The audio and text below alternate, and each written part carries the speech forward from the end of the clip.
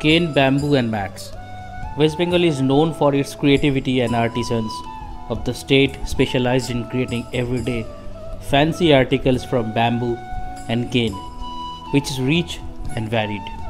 Reed mats and baskets find a variety of uses. This mat is woven on a simple bamboo frame loom.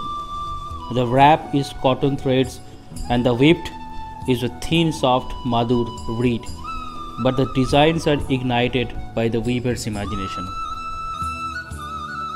Fine arts. The fine arts scene here is just as simulating whether you are interested in the revivalist trend pioneered by Abanindranath Tagore or the folk idiom of Jamini Roy. If you travel to Santiniketan, Tagore's Hermitage, you will be able to witness the work of Nandalal Bose and the stunning sculpture of Ramkinkar Baij.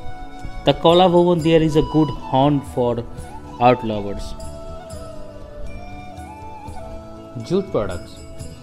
Jute, the golden fiber, has traditionally been woven and knotted and braided by women of Bengal, often for domestic storage. Jute as a fiber was much popular in ancient times.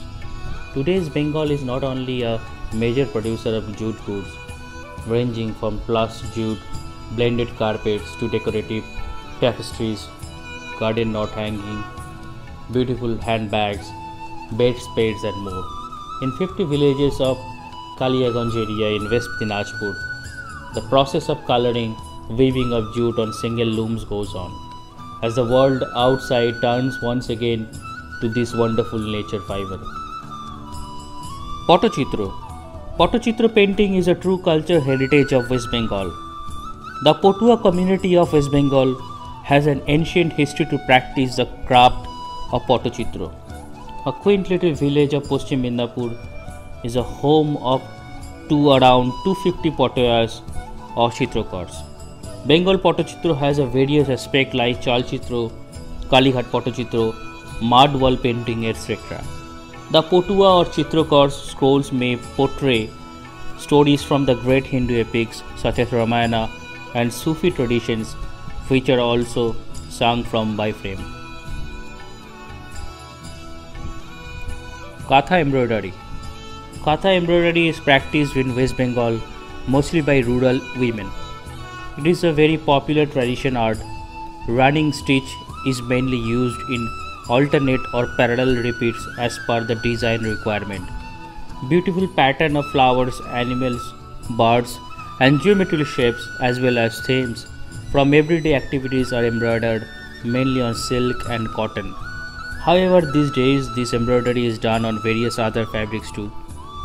The running stitch on the clothes gives it a slight wrinkle and wavy effect which gives any fabric a different texture unlike other types of embroidery. The first part of the series on arts and crafts has been covered, reflecting the varieties and uniqueness of different domains of West Bengal. This will be followed by the second part of the audio-visual presentation, covering the variety of textile for which West Bengal is known for. If you like our video, then subscribe to our channel and also hit the bell icon to get a new video notification. Thank you.